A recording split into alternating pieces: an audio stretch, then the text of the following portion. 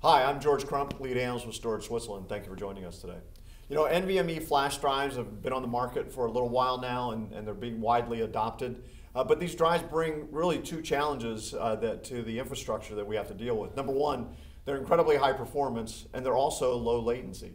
And so this really stresses storage infrastructures to their almost to their breaking point to try to figure out how to optimize and get the full potential of this technology.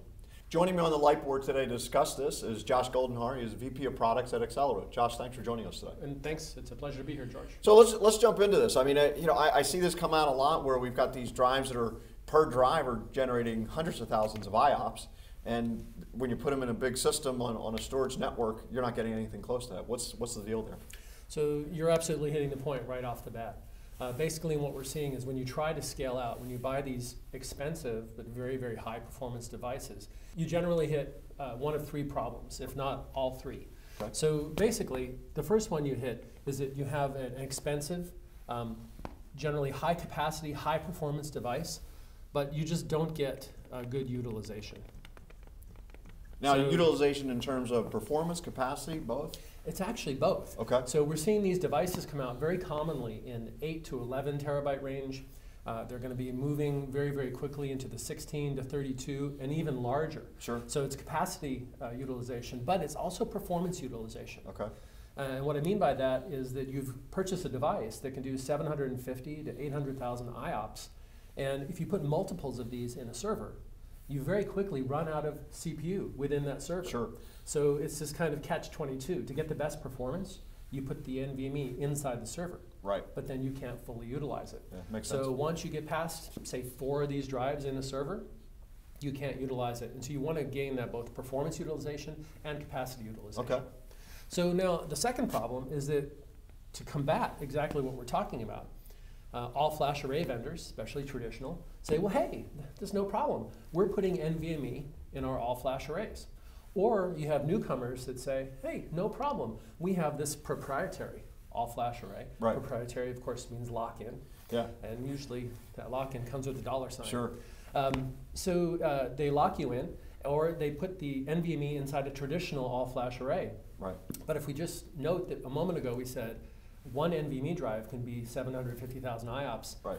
I challenge you to go out and look at all flash arrays that are out there, even ones that support NVMe, and you'll see the entire uh, I/O capacity they have for the array is only 750, maybe a million IOPS. Right. And so you're getting a, a, small percentage of the total potential. You're right? getting one drive's worth of, right. of I/O operations. So it's a it's a bottleneck issue. Okay. Basically, that's it. If you if you turn to the traditional all-flash arrays, yeah. they're architected in such a way that even though they're adding NVMe, they're just simply not ready for NVMe. Gotcha. so that, is that the that. second thing? So that is the second one. Is traditional arrays uh, just can't. We'll, we'll highlight this. Um, are a bottleneck. So it's a very interesting. That's kind of interesting to me because we've gone from it's, media now has gone sort of that worst to first uh, sort of technology where it used to be hard drives and it was always the hard drive's fault. Now it's everything else's fault because NVMe is so flat. Fast. Right, you're, you're exactly seeing it. I mean, yeah. you think about it. Um, why did arrays come into being, an array of drives. The right. only way to get to higher levels of IOPS was to take a lot of these slow storage devices and yeah. aggregate them. Right. We've kind of flipped it on its head. So yeah, a great observation totally is that is, is now you've got one device sure. that you almost need to split amongst a lot of controllers. Right, yeah. And so really the third problem then is I want that local performance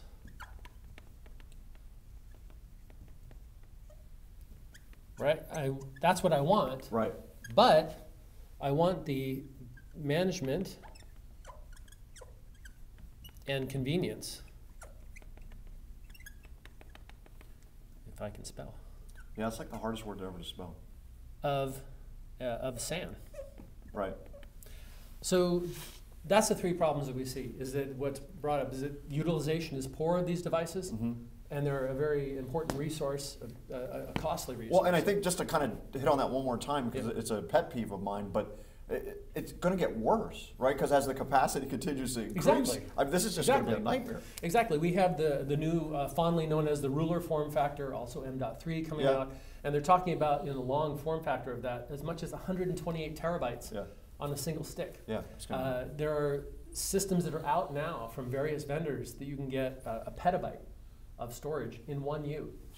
wow. So what And do you do with that? And then the bottleneck issue is just traditional flash array vendors sticking NVMe drives in their systems and not optimizing anything else in the environment, I guess, right? It's yeah, it's a factor of um, if we really look at it. Mhm. Um, these controllers often are x86 based, so they're x86 computers that are serving out a certain number of IOPS. Right. And when you don't do synthetic testing, when you when the IOPS are are actually being used by an application, Right. you find that really that limit is going to get up there in, in a million, maybe a couple of million. Yeah. And then if you have the traditional dual controller architecture, you have to have cache coherency. Sure. So when you add that protocol overhead, we're really not seeing for sustained IOPS more than you know say a million Yeah. IOPS out of a, a dual controller box, and it's really that dual controller architecture that's the issue. So I'm assuming you guys solved this problem. Can you talk about what you guys are doing to, to address these issues? Yeah, of course you can. That's a great idea. Okay. So what we do is it looks a lot like what we are talking about. Okay. Uh, you can use local NVMe in each server. Okay. So if we go ahead and we have servers here,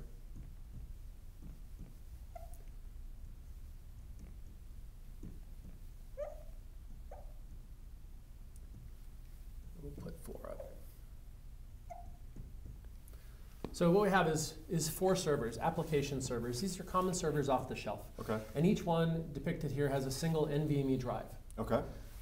Today, you get the best performance by running your application here or here or here, and it sees only the local drive. Sure. Yeah. Our software goes ahead and takes all these across a network, an Ethernet or an InfiniBand network, and it makes it into a pool of storage. So rather than four individual drives that are bound only to that server, if each of these were four terabytes, I have 16 terabytes of NVMe storage. Gotcha. Okay. Now, are- is this uh, NVMe over Fabric uh, or uh, from a protocol standpoint, or what are we uh, using to network? Our protocol to, talk, to link the drives together Mhm. is an internal protocol. However, you can access these if you want via NVMe over Okay. Fabric. The power of our system actually comes in our client, which looks like a block driver to the system. Gotcha. Okay. And we can use NVMe over Fabric as a transport Okay. or our own transports. And there are advantages and disadvantages to each. So I'm assuming that your your client is optimized for very low overhead and, and all that kind of good stuff. E- Exactly. So if you take now a server out here that has no NVMe, but is linked on the network, I can go ahead and I can create a logical volume, but we'll, uh, we'll choose a different color. So imagine here, again, my four drives. Uh, I'm going to go ahead and make these a mirror and make these a mirror and stripe across them. Okay. So I have two mirrored pairs. Yeah. I can create a logical volume here. And this can be of whatever size I want. I had 16 terabytes, so let's make this a 4 terabyte Okay. logical volume. And using our block driver here, I attach this over the network. And this is a completely virtual device. Gotcha. Okay. Our intelligent block driver in this application server sees this as what looks like a local block device. It doesn't know it's a, not an NVMe drive, Okay. but it's really an NVMe drive that not only gets the performance, read performance of all four drives, write performance of two of the drives, Mm-hmm. It also has protection against a host failure. This host can fail, Right. Sure. or this drive can fail, and your data stays protected. Yet it's at the same performance as you had asked. It's very, very low overhead. Mhm. We add a mere five microseconds Wow. of Okay. overhead, so it's extremely low. That's Now, this is the, uh, there's two advantages we have. You mentioned NVMe over Fabric as well, because the question comes up, why aren't you just using NVMe over Fabric? Sure. NVMe over Fabric is a great transport for that. You can get about eight microseconds over the network using NVMe over Fabric. Okay. Not quite as low as us, Yeah. but, But what's the low enough. Exactly. So, so let's let's dismiss that. Let's say Yeah. it's equal. The difference is, is this logical block driver is doing all that work of this magic protection for you. Okay. And this now, so this is how we we eliminate the utilization issue. Sure. You And now so can now, go ahead. Now you don't care how big these drives. You as the IT guy using this stuff don't care how big these drives get because I can carve it up as I need. Correct. Exactly. You carve it up whatever size you want, whatever data protection level you want. Mhm. And if you make a mistake, you can grow logical volumes. This, it kind of operates like a SAN, Right. but it's very much a new age SAN. Gotcha. Okay. So and completely virtual, off-the-shelf components. Uh, this is uh, regular NICs, servers, NVMe drives. There's no proprietary hardware here. And so I think I can guess, but just quickly, how do you guys? Uh, how does this architecture address the traditional bro- bottlenecks? And you're guessing correctly that how we also eliminate the bottleneck is this special sauce right here. Okay. This driver is running on every application server, and it's doing the RAID protection and the striping. Okay. You'll notice what's missing here. There is no centralized controller. Right. I can go out in the current version of NVMesh to 128 hosts Okay. that contain NVMe drives, and the drives per host can be anywhere. There's some systems that can take 60 drives. Okay. Very commonly, you can have some that take 24. Okay. So we can span to multi-petabyte pools Sure. uh, in the product today. It's very, very scalable. There is no bottleneck. And so by eliminating that bottleneck, uh, we can, in as, as, as small as 2U, and there's a 2U server that really is four servers inside and Mhm. holds 24 drives. Gotcha. Uh, we can get about 80 gigabytes per second of bandwidth Wow. and just shy of 20 million random read 4K IOPS out of this platform. So this is 2U, and it's 20 million IOPS, and 80 gigabytes per second. I mean, it's okay for a home system, but I don't. I don't Yeah, know, yeah, yeah, know. it's a, you So- understand at home. So a couple of videos there. So the uh, so then let's wrap up with uh, I, I think obviously we can start to see the picture here, but uh, how this uh, takes care of the need for local performance and the flexibility of a SAN. So let's reiterate that one more time too. So absolutely, uh, and again, you touched on it. Mhm. Thank you very much. Stealing my thunder. Sorry. um, is that uh, you what you want is local performance. Right. Um, we've gotten spoiled. People have been putting NVMe inside the application servers. Sure. Gives them the performance, but they just don't think that they can get that performance with the convenience and manageability of SAN. Right. Because as evidenced, when you go to the traditional vendors, and we all know who they are, Right. you're getting like a million IOPS out of a box that has something like 18 or 16 million IOPS worth of NVMe drives. Right. So you say, well, obviously I can't get it, but we're here to tell you that you can. You can solve this. You can get local performance because with NVMesh, when you go ahead and adopt this model and you use the drives remotely with logical volumes, you're only adding about five microseconds to your read latency. Wow. So to put that in perspective, a lot of these drives are somewhere around the 80 microsecond mark. You can do a read across the network to a logical volume in only 85 microseconds.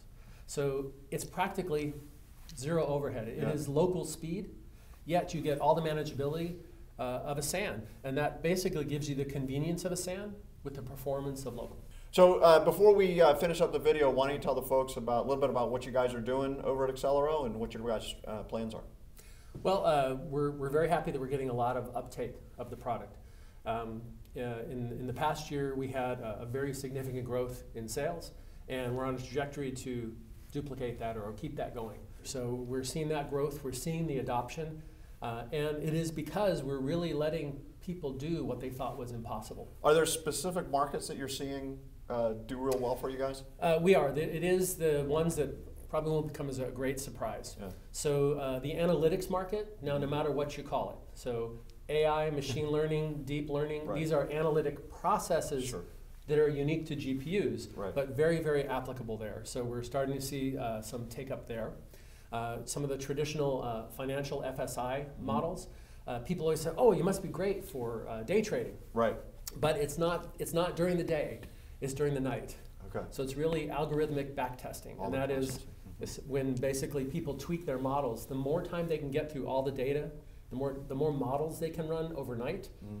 They basically beat their competitors by tweaking their models and making them better for the next day's trading. Awesome. So that's where we're seeing some uh, pickup. Uh, traditional HPC is we're actually seeing a lot of interest there, uh, both uh, raw as a, uh local burst buffer, uh, as a uh, local scratch Okay. or local scratch on demand is Sure. something that's actually starting to pick up, uh, which means basically you have a cluster and you need someplace to write to very, very, very quickly. Right. And usually you would go to local scratch. It's this model here. And they put drives in the nodes that need that local scratch. But you hit that same problem. Uh, if you needed five terabytes and you only put in a four terabyte drive, you can't get it. Awesome. So by integrating uh, with certain scheduling options, with some file systems that are out there that are very popular, you can have a local scratch on demand through a local file system or even a shared file system. And uh, we're going to have some more news on that in the next uh, upcoming months. Awesome. Okay, great. Well, Josh, thanks for joining us today. Uh, Appreciate it's It's been a pleasure. Thanks very much. So there you have it. Uh, if you really need to leverage the full performance of NVMe and, and really who, why would you buy the technology if you can't? Uh, technologies like Excelero's are really the way to go. We really need to rethink the architecture and how we're doing things. I'm George Crump, lead analyst for Storage Switzerland. Thank you for joining us today.